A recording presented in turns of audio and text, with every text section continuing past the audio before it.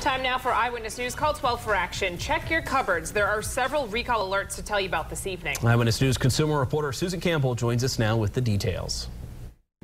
We learned some animal crackers have undeclared peanut ingredients and some Doritos have undeclared milk ingredients. Here's what you need to know. Armour Snack Makers is recalling some Keebler animal crackers because they were made with undeclared peanut ingredients. Anyone with severe peanut allergies should avoid the cookies.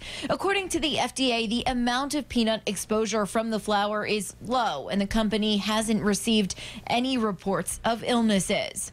Frito-Lay also recalling one of its products because of an undeclared allergen. The company says some spicy sweet chili Doritos bags were mistakenly filled with nacho cheese Doritos, which contain milk ingredients. The company says no other Doritos flavors were impacted and no illnesses have been reported.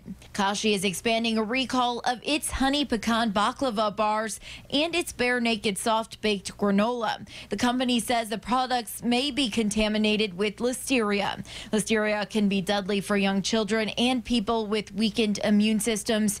It can also cause miscarriages and stillbirths among pregnant women. If you have any of these products in your cupboards, contact the company for a refund.